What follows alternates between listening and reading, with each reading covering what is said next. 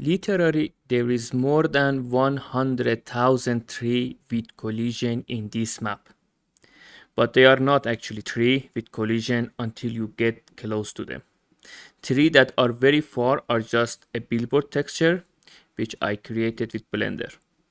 Also collision shape will create and destroy in area around player.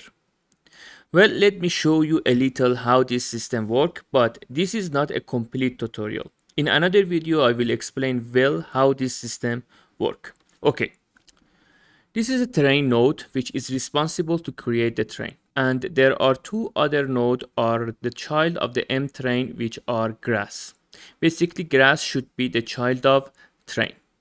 And we have two grass Verde is for the short grass on the ground and tree is for the tree which has a collision to. You can add more grass too. Okay, let me select the tree as I select that, I active the paint mode and I start to add a tree. As I add the tree, there is a number in the toolbar that is changing. That shows the total number of the tree right now. It is more than uh, 100,000 tree. You can remove tree too. Okay, let me show you other setting for the grass. We have three important thing here that we should set. Grass mesh is the mesh of the tree in each level of detail. As you can see, I put a really high resolution uh, tree mesh in LOD0 and I decimate the tree and I put that in a LOD1 and for other LOD I just set them to a billboard texture. A billboard texture is a texture that is always toward the camera.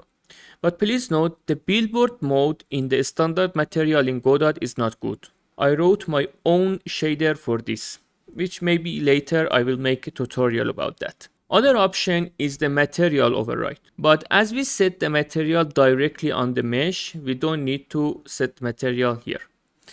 And LOD setting is the most important setting that can affect the look of your grass. Here you provide a resource type with a bunch of information to grass, which tell grass how to handle each level of detail. For example, here for tree, I randomize the rotation along the y-axis so the tree can randomly rotate uh, along the y direction. But as I don't want my tree rotate along x or z direction, I set them to the zero.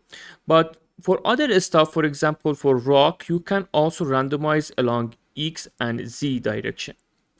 You can do also the same thing for a scale and position. And you can handle each level of detail differently.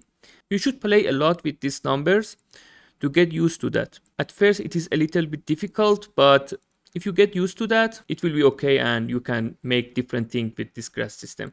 But I should make a better video and explain everything better and I will do that later. Here we have another option too and that is for the limiting the number of the grass. For example, if I put that to 1000, it will remove all the tree far away and it will keep the number of the tree around this number. Okay, now let me show you how much is my frame rate. Uh, I record this video by OBS and it bring down a lot of my quality again. Anyway, the quality which I see on my screen is much better. Also, I have a few frame rate drop because I am recording from a screen. Also, I am using RX 6900 XT as a graphic card.